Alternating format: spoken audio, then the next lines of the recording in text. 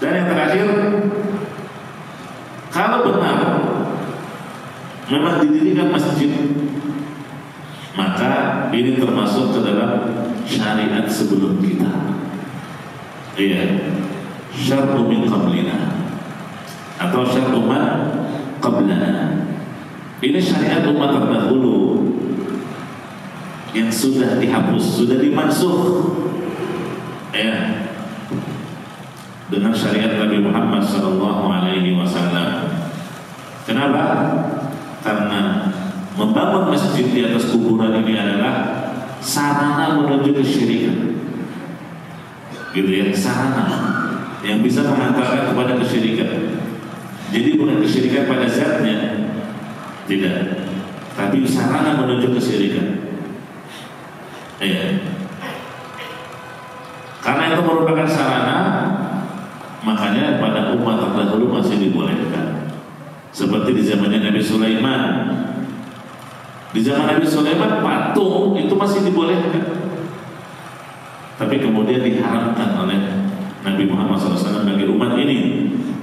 Karena patung, apalagi patung-patung orang saleh itu juga sama. Merupakan sarana yang bisa mengantarkan kepada kesyirikan. Ya. Nah, jadi yang jelas tidak ada dalil tegas bahwa Allah menyetujui rencana mereka. Ya, intinya Nabi SAW melarang membangun masjid di atas kuburan dan para ulama menyebutkan ini termasuk dosa besar.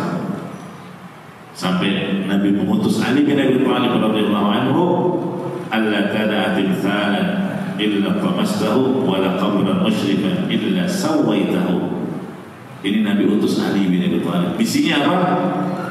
Ya, kalau kamu mendapati patung, hancurkan patung itu.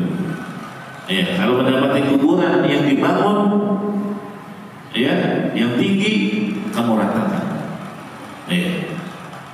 Nah, begitu ya. Nah, ini jemaah rahimani wa rahimakumullah. Uh, intinya Nabi Shallallahu Alaihi Wasallam menutup celah yang dapat mengantarkan kepada kesyirikan. Nabi tutup semua sarana yang bisa mengantarkan seseorang terjatuh ke dalam kesyirikan di antaranya adalah larangan membangun masjid di atas kuburan. Ya. هذا